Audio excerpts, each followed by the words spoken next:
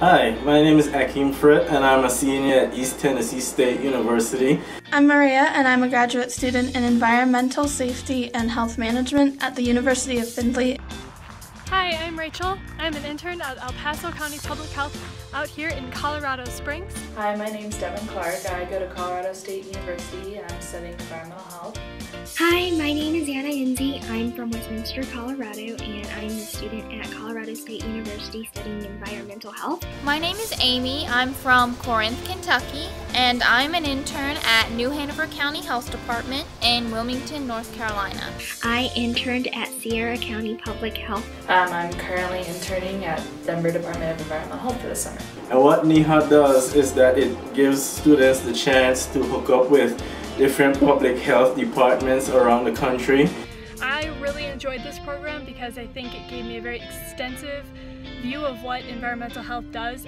My favorite part of this internship was being able to travel to over 10 different communities in order to work with community members on public health issues. For restaurants, for septic tanks, for wells, for all that kind of stuff. And all of it has to do with, you know, keeping people safe and keeping the environment safe and helping the environment.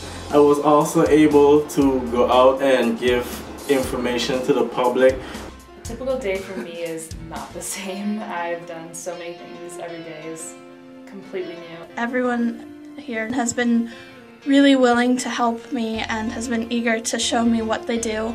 They've all been great and they've all been super helpful and have taught me a lot.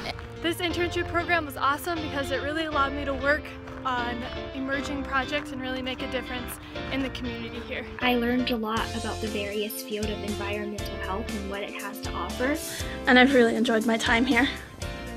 I mean, this is an invaluable experience. I'll, it'll, I know it'll help me so much out, so much in the future. I would definitely recommend um, other EH students checking out this internship opportunity. I would encourage any student that is interested in any internship to consider the National Environmental Health Internship Program.